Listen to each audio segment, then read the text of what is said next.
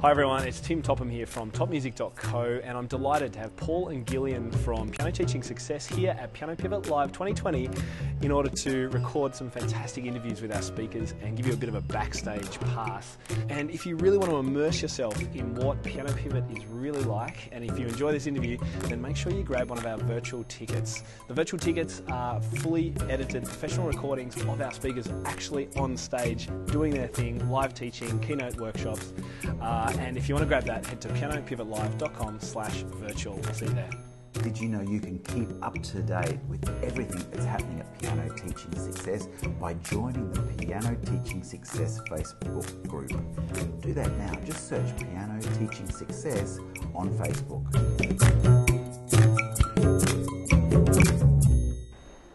Hi, and welcome back to Piano Pivot Live um, from Melbourne, Australia. And with me is, uh, is uh, Nicole. Sorry, it's the end it's of the time, isn't it? It's been oh goodness, it's been exhausting and wonderful all at the same time, yeah. hasn't it? And yeah. I just so loved your session. Thank you. it you. was so good. Um, Nicola talked to us about um, the, uh, the ultimate dream, the ultimate goal. Our ultimate goal really is creating lifelong musical players, players of music, players mm. of piano, even just musicians, I'd really like to say, because if, yeah. if they actually went off and went, oh, you know, I really want to play trumpet or whatever, yeah, and we've done our job in igniting absolutely. that interest, that's still t- oh, success. that's success. Yeah, yeah, absolutely. That's right. And so I just love the way that you explained it um, with a, like a, an approach where we have all of these students to start with and looking at the various challenges along the way, and then how many come out at the end. Mm-hmm. Would you like to talk about that a little bit? Yeah, absolutely. So this is based on what we call a marketing funnel, hmm. um, which is a very useful marketing thing that I won't come into ne- go into now. But I took that and applied it to the students that are going through our studio. And unfortunately, although a marketing funnel is a good thing that it's getting smaller, in our studio it's not a good thing because Mm, no, no. we want to spread music far and wide. We don't want only those who are academically gifted or only those who had parents who studied music before them to go on to become lifelong musicians. We want all of our students to, be, mm. to have the chance, at least, to be able to do that. Mm. But we're putting these barriers in their way. So I had little names for each one. So it starts with the sieve of parental support. And that's where people fall off. And then there's various layers where the students are leaving our studio not because they don't want to play music or because they can't. It's because we're not set up for that. Yes. We're set up to suit basically us.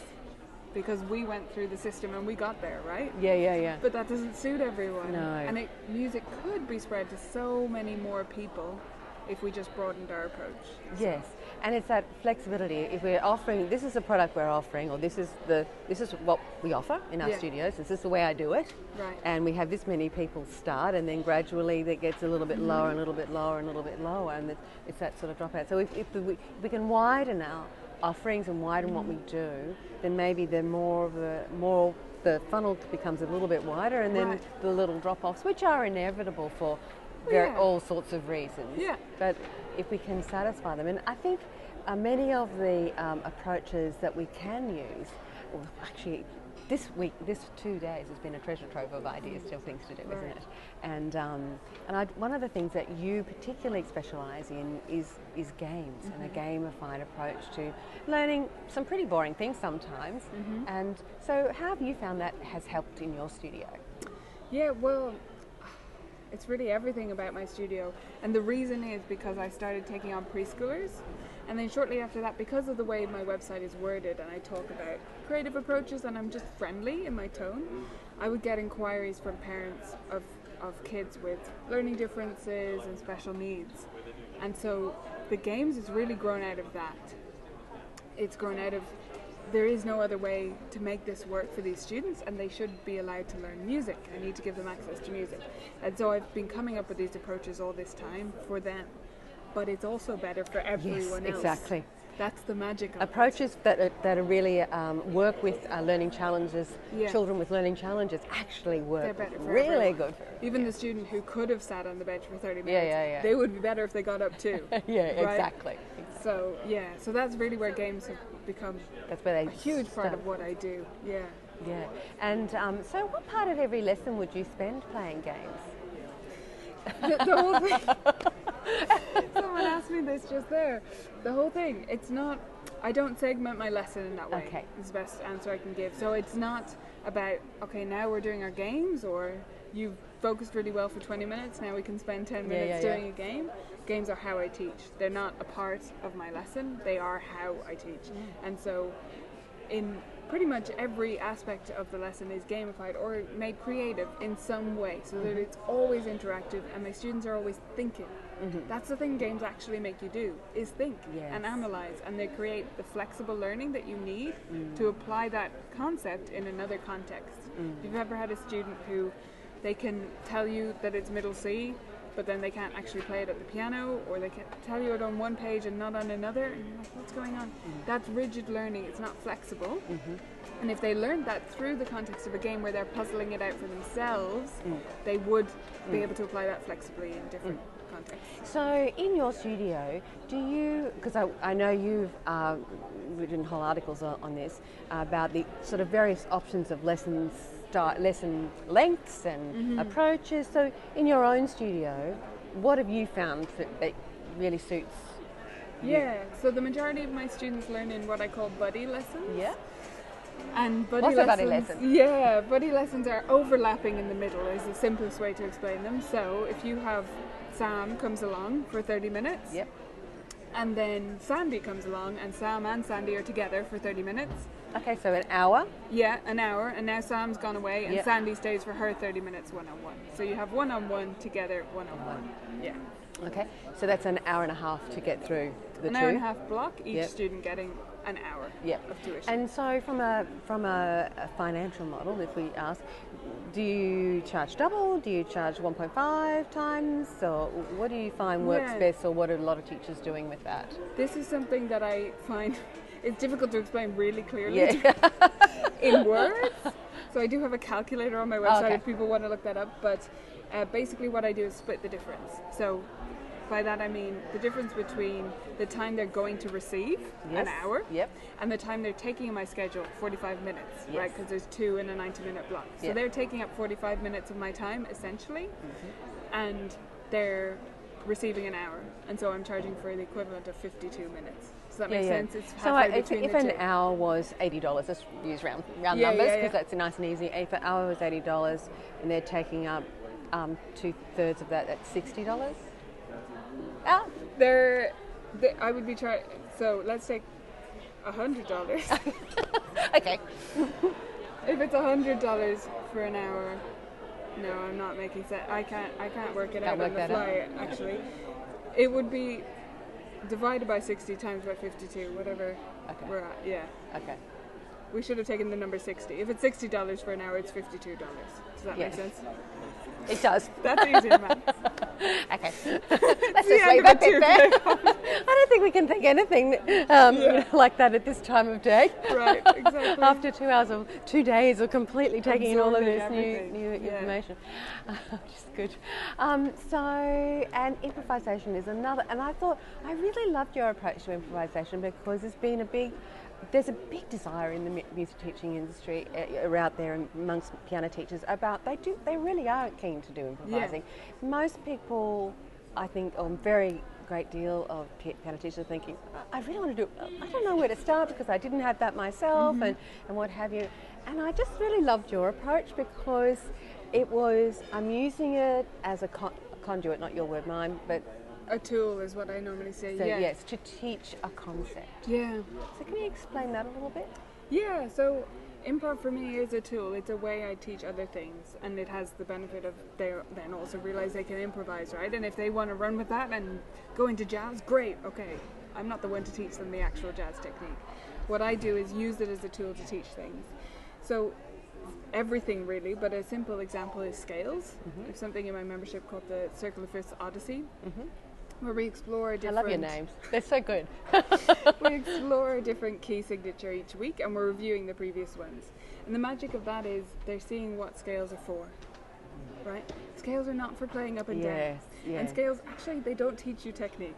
You can play scales with terrible technique or good technique. Yeah, yeah, right? yeah. So I don't like calling them a technique portion of the lesson. What scales are is a way to understand music and how it's structured. And so if you improvise with them, you're playing a chord pattern, just one, six, four, five, whatever, you know, something simple, and they play around with the scale. So we start in C, and then we say, okay, we're going to go to G major. What do you think is going to change? If they have no idea, if they've never done a scale before, then we just play it and say which note sounds off, mm-hmm. right? You need to change T, mm-hmm. and up it goes. And then we build it up that way. So they're seeing all sorts of things from that. They're using scales, and they're also seeing how the circle of fifths work and how they build up the sharps over time. Because I find a lot of transfer students, students from other teachers, they they try to remember every sharp in every Yes. scale. I'm like, no, you're adding one. Yeah. You know? Patterns. It's patterns, yeah. Mm. And even playing it on the piano for some students is really da da da da da. We just do it like that on the black keys, and that's really useful just to see it that way. Uncover the patterns, yeah. Like that shouldn't be the thing holding you back from playing in B majors. Yes. You know. Yeah. So yeah, so they get to see all 12 keys in a really simple way, and we can get to the fingering later. So that's just one example of using improv to teach a concept. Yep. But I can do that. You can do it for anything. Yeah. Absolutely anything. Yeah, yeah. And you, I love the one you did. You just threw it up. It was on a slide. So intervals. Oh, I Yeah. really love that. What you said. Um, that you do a lot on intervals because, Mm-hmm. um, and I agree with you. uh, reading. Most of us learn to read through an intervallic approach. Like through we reading because we're going same, same, same. It goes up, up one, up one, Right. up three, or whatever. We tend to. That is our really. Most of us, that's how we read. But I would question that being mo- how how we learn to read because it, Yeah. for most of us, we learn to read in spite of being taught through mnemonics. I Oh, yes. definitely did. Yes. I did John Thompson, and I was Yes. taught ev- ev- all cows, right? Yeah. All cows eat grass, grass. and face. And I Yes. used that for years, and it was so slow. And then, obviously, at some point, we got over that hurdle. Yes.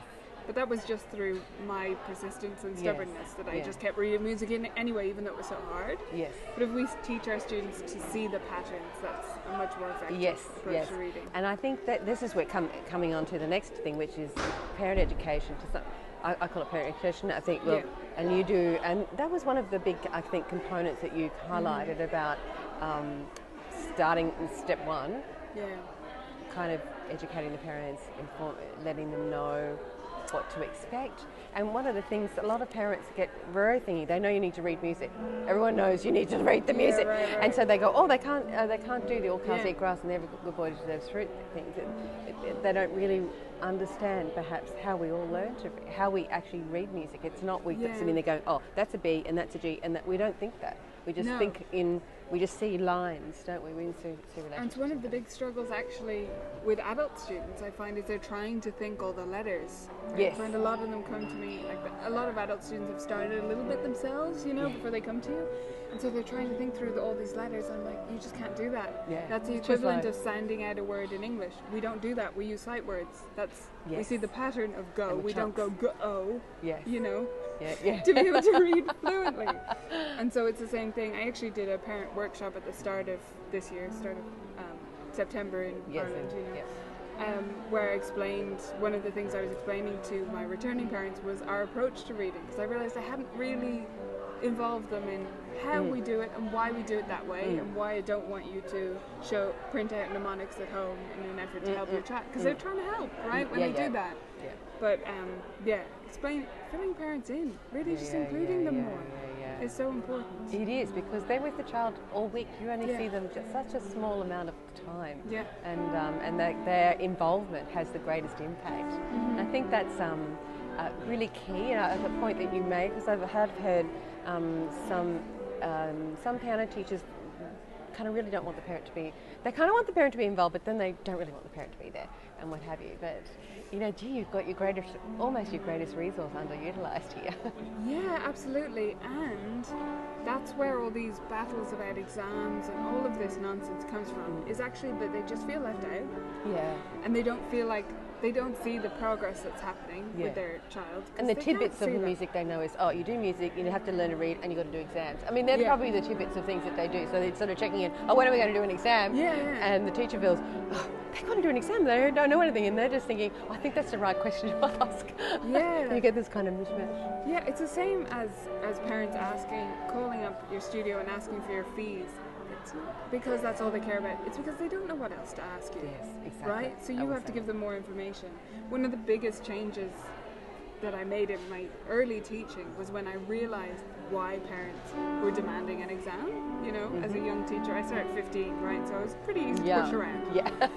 And so when I realized, okay, they're asking for that exam because that's their measure of progress. Progress. And if I just show them what progress is there and communicate that clearly, I don't get. I ne- they never push for an exam. They don't care. Yes. They just want to see that their investment is worth something and Yeah. that their child is getting somewhere. Yes. And that's fair, Yeah. right? Exactly. Yeah. Exactly. And I think that's so, you know, the, the um, ideas and tidbits and some guidance that you gave us was just so enabling. It makes us think about all those things. And so, thank you so much. I've had Oh. such a great time meeting you and Yeah, uh, getting to know you, and uh, and and your session's been fabulous. So thank oh, you. well, thank you. My pleasure.